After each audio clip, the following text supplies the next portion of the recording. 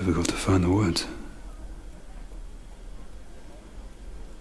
Say all my feelings for you are very strong. Please, stop. Please, please don't go any further. Excuse me. Please don't continue in that way. It's not the way of a gentleman. I'm well aware that in your eyes, at least, I'm not a gentleman. But I think I deserve to know why I am offensive. It offends me that you should speak to me as if it were your duty to rescue my reputation. I spoke to you about my feelings because I love you. I had no thought for your reputation. You think that because you are rich and my father is in reduced circumstances that you can have me for your possession. I suppose I should expect no less from someone in trade. I don't want to possess you. I wish to marry you because I love you. You shouldn't, because I do not like you and never have.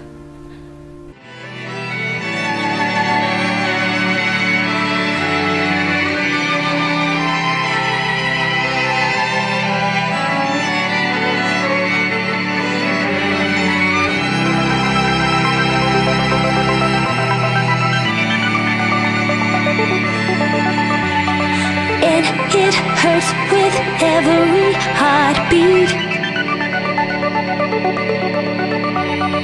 And it hurts with every.